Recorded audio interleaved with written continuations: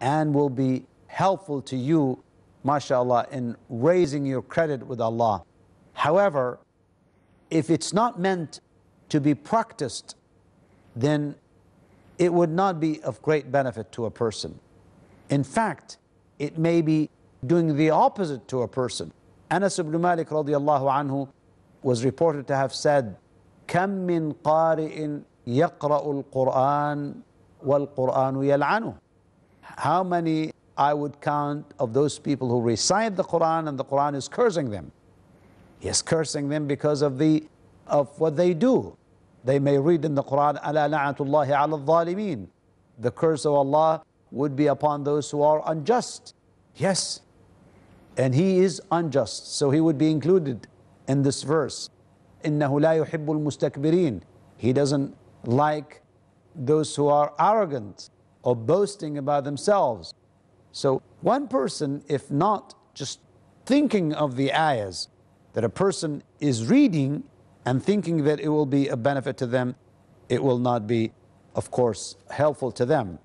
One of the other thing is when people try to sit together, especially when there is a funeral, and they are sitting to try to benefit from the glorious Quran, and everyone would read one part at the same time, and they think that they have completed the Quran. Of course, that is something that the earlier best generations were not familiar with. They didn't do it. And therefore, one needs to stay away from this. And even there is no recitation for a dead person. If you'd like to benefit someone who's dead, don't recite the glorious Quran for them. The best thing is to make dua for them. The best thing is to ask Allah subhanahu wa ta'ala to forgive them, to accept them, to make their graves one of the paradise gardens, and so on. This is important. What we need to do when reciting the glorious Quran, clean our heart, but we need the purity of the heart in order for the Quran to be well received. Because if the Quran is coming to the heart and the heart is filthy or so much affected by sins and evil things, obviously it will not have the good effect and it will not get the most out of it.